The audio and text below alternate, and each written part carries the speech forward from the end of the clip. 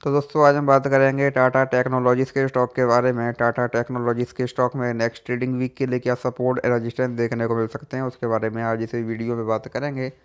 हम अगर यहाँ पर स्टॉक की बात करें तो हम देखेंगे जो ये स्टॉक है, ये हमको पहले यहाँ पर लगातार के लिए डाउन ट्रेंड में देखने को मिल रहा था। पहले हमको स्टॉक में लोवर लो लोवर हाई वाला पैटर्न यहाँ पर देखने को मिल रहा था।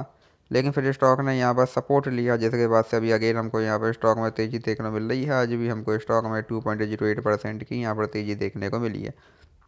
तो यहाँ से अभी हम स्टॉक में बात करें, यहाँ से अगर अभी स्टॉक में और तेज़ी आती है तो यहाँ से अभी और तेज़ी की कंडीशन में हमारे पास यहाँ पर स्टॉक में वन ज़ीरो फोर नाइन का पहला यहाँ पर रजिस्ट्रेशन देखने को मिलेगा। अगर स्टॉक इसको भी यहाँ ब्रेक करता है देन यहाँ से हमको स्टॉक में वन वन थ्री फाइव और अगर स्टॉक इसको भी यहाँ ब्रेक करता है देन यहाँ से हमको स्टॉक में अगेन एक बड़ी तेज़ी।